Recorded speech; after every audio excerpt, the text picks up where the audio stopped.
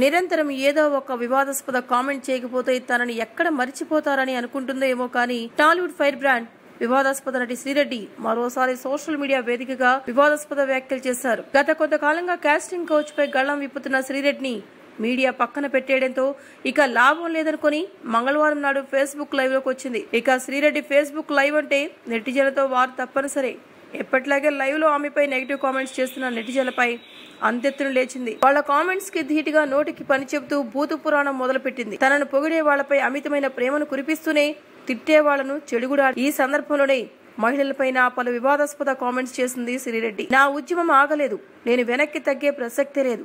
పుణ్యక్షేత్రాలు తిరిగి వచ్చా. దైవ దర్శనం వల్ల నాలో మరింత పవర్ పెరిగింది. అన్యాయం జరిగిందని ప్రశ్నిస్తే కాల్ అంటూ నోటికొచ్చినట్లు వాగుతున్నారు. అయితే బయటకు కనిపించేది మేమే. ఎంతమంది ఇండస్ట్రీలో అలాంటి వాళ్ళు లేరు. అలాంటి పరిస్థితులు రావడానికి కారణం కామంతో కళ్ళు మూసుకుపోయే మీలాంటి వాళ్ళు కాదా? మీరు మాత్రం ఎన్ని అడ్డదారులను తొక్కొచ్చు. ఆడవాళ్ళు మాత్రం పతివ్రతల్లే ఉండాలి. ఈ రోజుల్లో పతివ్రతలను ఎక్స్పెక్ట్ చేయకండి. మీలాంటి ఎదవల వల్లే పతివ్రతలు అనేవాళ్ళు కనుమరుగవుతున్నారు. మీరు చూసే కామపు చూపుల వల్లే అమ్మాయిలు పతివ్రతలు కాలేకపోతున్నారంటూ లైవ్లో శ్రీరెడ్డి సంచలన వ్యాఖ్యలు చేస్తున్నారు.